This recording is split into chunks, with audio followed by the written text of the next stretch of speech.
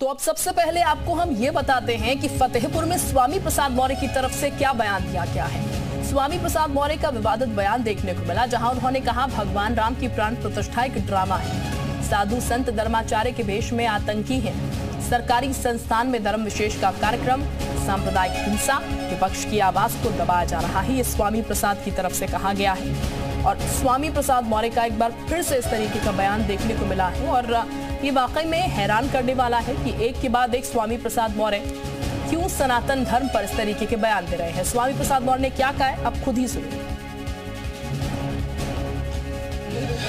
जो हज़ारों और लाखों साल से पूजा जा रहा है जो सबको जीवन देता है उसको प्राण प्रतिष्ठा करने के लिए ड्रामा किया है।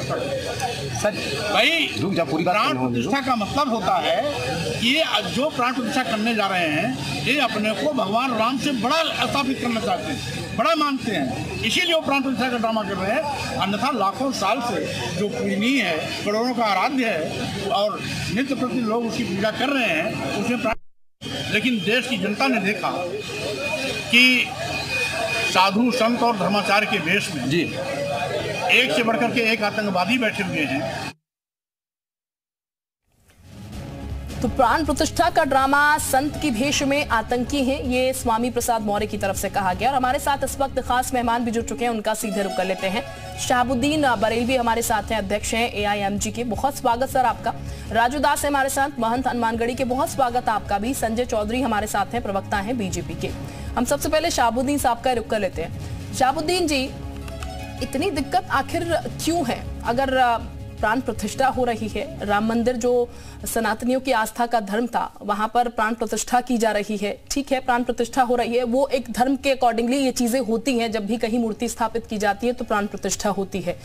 फिर बात जेल की भी हम कर लेते हैं। जेल में हनुमान चालीसा का पाठ हो रहा है अगर तो ज़बरदस्ती किसी से नहीं की गई है कि आप ज़बरदस्ती पाठ करिए। आप चाहे तो कुरान पढ़ लीजिए आप चाहे तो हनुमान चालीसा पढ़ लीजिए जैसा आपका धर्म वैसा आप पढ़ लीजिए। फिर दिक्कत क्यों है सर? देखिए जहाँ तक स्वामी प्रसाद मौर्य की बात है तो मौर्य जी हमेशा हिंदू मज़हब के खिलाफ बोलते रहे हैं। और इससे पहले भी उन्होंने एक मजहबी मुकदस किताब की तौहीन की थी जिस पर काफ़ी लोगों ने नाराज़गी ज़ाहिर की और मैंने भी निंदा की थी। और अभी अभी जो साधु संतों को इन्होंने आतंकवादी कहा है ये घिनौना बयान है उनका। और हम इसकी मजम्मत करते हैं निंदा करते हैं और इस तरीके से साधु संतों के बारे में अल्फाज का इस्तेमाल नहीं किया जाना चाहिए। साधु संत एक मजहबी और सामाजिक लोग हैं समाज को दिशा देते हैं। रहनुमाई करते हैं और जो समाज के अंदर जो बुराइयाँ हैं चाहे वो अपने वो अपने तबके की ही बात करते हैं हर आदमी अपने तबके की बात करता है।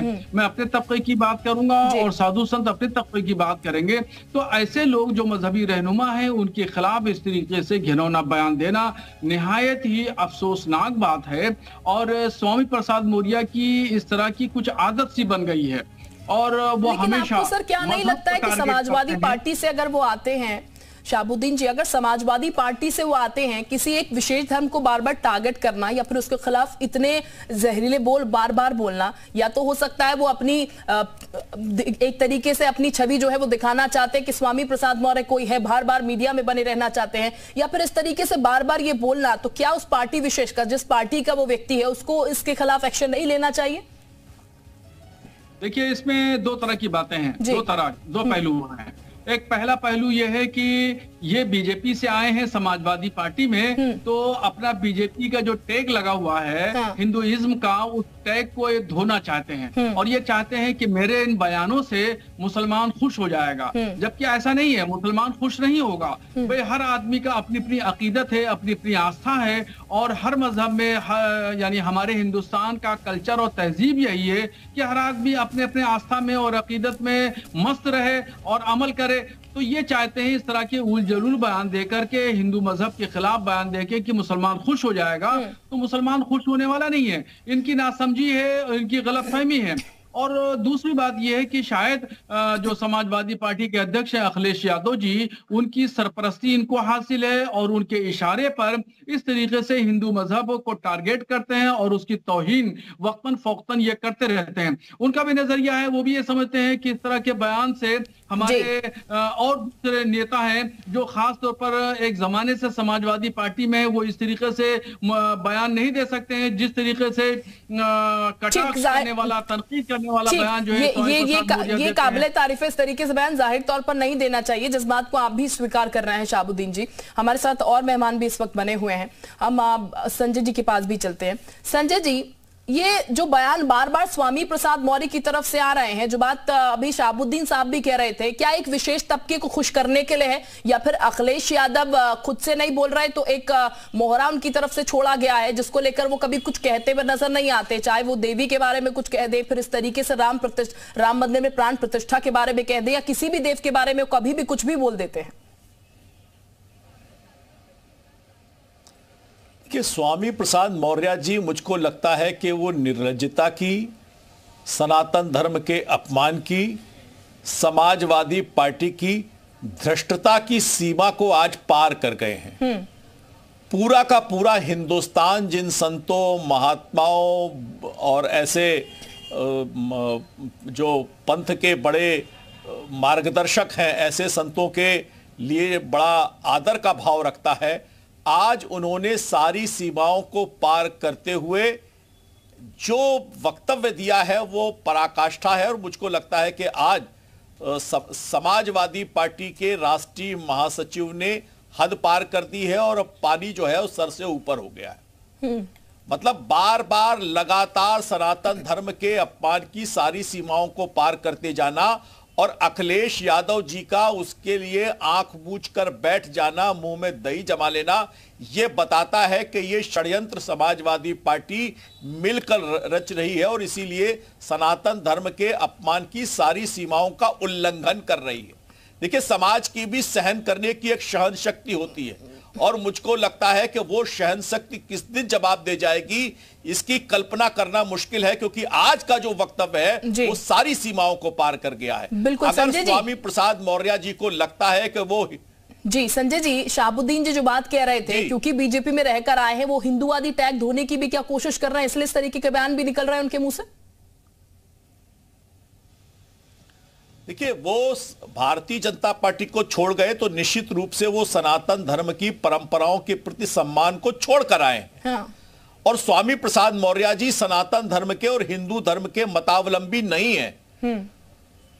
और वो बौद्ध धर्म की मान्यताओं के अनुसार चलते हैं और बौद्ध धर्म की मान्यताओं का भी पालन नहीं करते बौद्ध धर्म में तो मानव की पूजा अवैध बनाई गई है और वो स्वयं अपनी पत्नी की पूजा करने की बात करते हैं हम्म। तो वो सैद्धांतिक रूप से भी गलत है लेकिन सामाजिक रूप से वो हिंदू समाज की सहन शक्ति का आ, मुझको लगता है कि जो परीक्षा ले रहे हैं हम्म। उसका आज उन्होंने चरमोत्कर्ष पर उल्लंघन कर दिया है मुझे लगता है कि हिंदू समाज के अगर सब्र का पैमाना टूट गया तो स्वामी प्रसाद मौर्य के साथ समाजवादी पार्टी भी मुझको लगता है कि जिस रसातल में जाएगी, अखिलेश यादव को भी उस पाप का भागीदार बनना पड़ेगा।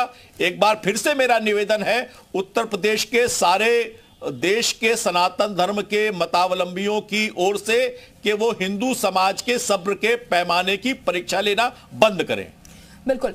राजू दास जी भी हमारे साथ इस वक्त जुड़े हुए हैं महंत हनुमानगढ़ी के। राजू दास जी, जो बातें सामने निकल के आ रही हैं स्वामी प्रसाद मौर्य की तरफ़ से, जिस तरीके से उनकी तरफ़ से अनर्गल बयान बार बार दिए जाते हैं, अब राम मंदिर को लेकर प्राण प्रतिष्ठा को लेकर उन्होंने बात कही, और उसके साथ, इस, इसको ड्रामा बता दिया, साथ ही साथ ये कह रहे हैं, जो सनातनी, जो गुरु हैं, या फिर जो लोग हैं, धर्माचार्य हैं, वो सब आतंकी ये किस तरीके के बोल रहे हैं? आखिर ऐसे बोल बार बार क्यों दे रहे हैं वो?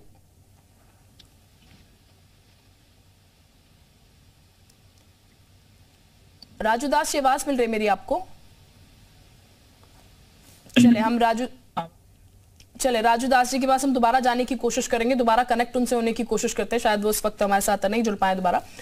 शाहबुद्दीन जी चूँकि आप सुन रहे हैं कहा जाता है बार बार धर्म की राजनीति धर्म की राजनीति आखिर धर्म की राजनीति इतनी ज़्यादा ज़रूरी हो गई है कि आप कभी एक को बरगलाएँगे कभी आप दूसरे को बरगलाएँगे और जो क्योंकि पॉलिटिक्स है और हर कोई पॉलिटिक्स करता है। सत्ताधारी पार्टी भी जो सत्ता में नहीं है वो पार्टी भी। लेकिन उस बीच आप किसी भी धर्म को टारगेट कैसे कर सकते हैं? उस बीच आप बार बार ये क्यों भूल जाते हैं? जो उस मज़हब के लोग हैं चाहे वो हिंदू हो चाहे वो मुस्लिम हो सिख हो ईसाई हो जो उस मज़हब के लोग हैं आप उनके साथ खिलवाड़ कर रहे हैं। ये हाँ बिल्कुल बात आपकी सही है और आपने वाजिब बात कही है। दरअसल आजकल के आजकल की जो सियासत है वो हम्म। बहुत सतही अंदाज में यानी निचले स्तर पर आ गई है।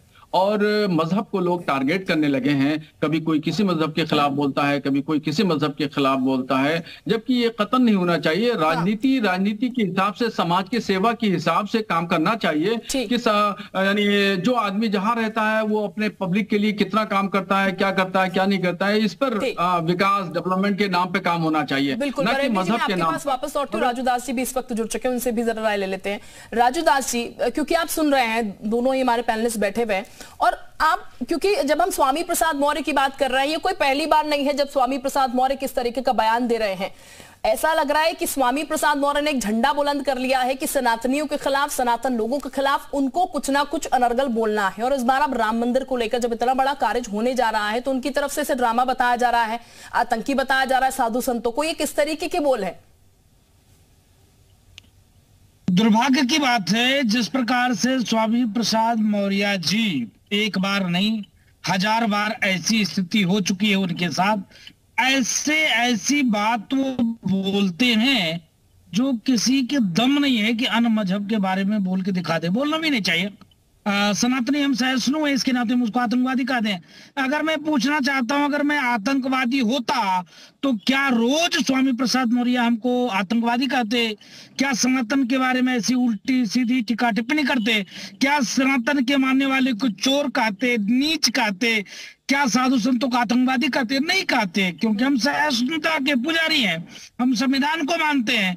दुख इस बात की है कि जिस पार्टी में है माननीय अखिलेश यादव जी, उसके ऊपर किसी भी प्रकार से कोई कार्रवाई नहीं कर रहे हैं। उससे भी कहीं ज़्यादा दुख है मुझको। पूज्य योगी आदित्यनाथ जी महाराज की सरकार से, इस प्रकार से एक आतंकवादी एक बौद्धिक आतंकवादी रोज अब शब्द का प्रयोग करता है, अभी तक जेल के बाहर है। इससे ज़्यादा भी दुख हमको है कि उच्च न्यायालय, उच्चतम न्यायालय के लोग कहा चले गए? अभी राजू दास बोल दे तो उच्च न्यायालय, उच्चतम न्यायालय चीफ जस्टिस महोदय कहने लगेंगे, हेड स्पीच के मामले में राजू दास को अंदर कर दो, इनको इतने दिन तक बाहर नहीं निकलने दो। तो आज कोर्ट भी क्या ध्वस्त हो गई है? कानून व्यवस्था खत्म हो गई है। माननीय अखिलेश यादव जी, क्या इस्लाम स्वीकार कर लिए हैं? मुझको तो यही लगता है, रोज सनातन के बारे में टिप्पणी करना।